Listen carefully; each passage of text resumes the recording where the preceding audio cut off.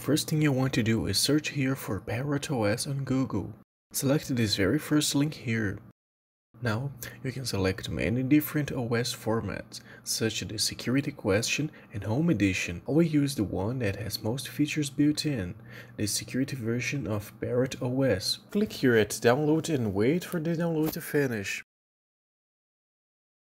After the download is done, open your VirtualBox application and then go for this new icon here. Choose a name for your computer. Select the file location of which the VirtualBox will be installed and the file location containing the ISO file we just downloaded. VirtualBox already selected Linux and Debian 64 as you can see. If not, click here and select this very one. The next step is setting up the hardware for the virtual machine. The minimum amount is 2GB of RAM or 2048 MB as shown here.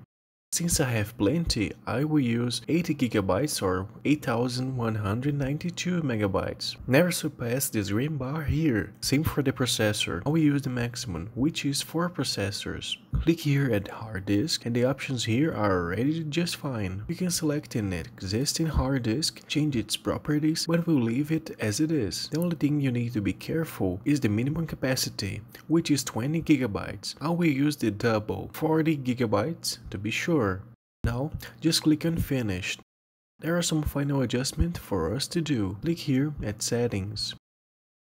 Click here at the display and slide the bar up to the maximum, which is 128 megabytes. If you wish to use your system with more smoothness, activate this 3D acceleration as well, but be careful. Make sure you have a computer powerful enough to do so. If you are unsure, do not activate it. Click on OK and then click here at Start.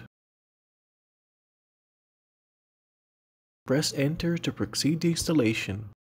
This page here will open and for better viewing, you can go here at view at the virtual box and as you can see, it is already guest resize display enabled, so do not click on it. Instead, Ctrl F at the same time to full screen the window here. Now, it is necessary to click on the install parrot.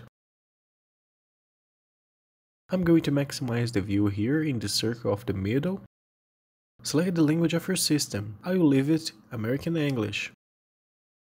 Now go for the region in your local time zone.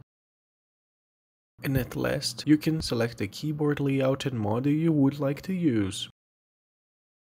Click on Next page here. Do not be afraid. Select the option to erase disk and that's it. You can also create partitions, but for the most parts, this would not be necessary for us. Click on next and then here at full name, you actually need to provide a name. Therefore, I will invent one here and just leave the username as it suggests by the system. Be sure to remember it or note it down. It will be necessary to initialize the system. Same for the password and its confirmation here. I will use 1234567889 as password.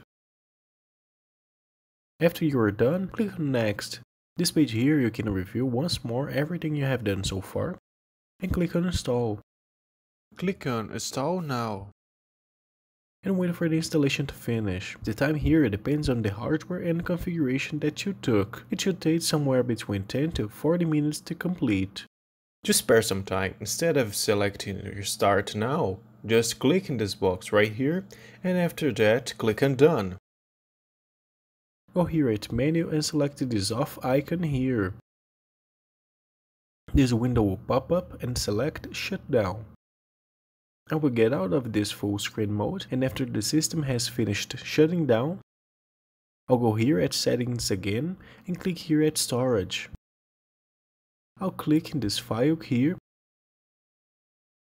and click in this disk icon, select remove disk and then go for OK.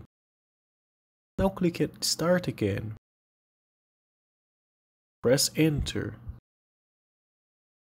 Type the password you noted down earlier. And now go for full screen again. And that's pretty much it. Thanks a lot for watching till the end.